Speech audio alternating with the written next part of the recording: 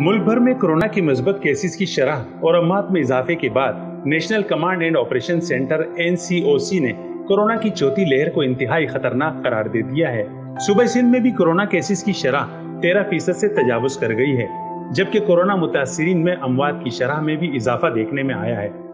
Video आगे देखने से पहले चैनल को सब्सक्राइब करें और बेल आइकन पर क्लिक करें। कराची में 24 घंटों में कोरोना के मजबत केसेस की शरह चौबीस अशारिय नवासी फ़ीसद रिकॉर्ड हुई है। एक दिन में दो हज़ार निन्यानवे अफराद कोरोना का शिकार हुए।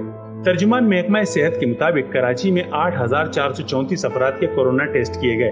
दो हज़ार निन्यानवे अफराद में कोरोना के मजबत आने की तस्दीक हुई। कराची, हैदराबाद के अलावा सिंध के दीगर इजला में कोरोना मजबत की शरह चार आशारिया दस फ़ीसद रही। सिंध में 24 घंटों में कोरोना के बाईस, चौवालीस अफराद इंतकाल कर गए। हुकूमत सिंध की जानब से जारी अहकाम के बाद इंडोर और आउटडोर तमाम इज्तम रेस्टोरेंट्स पर खाने पर मुकम्मल पाबंदी आयद कर दी गई है।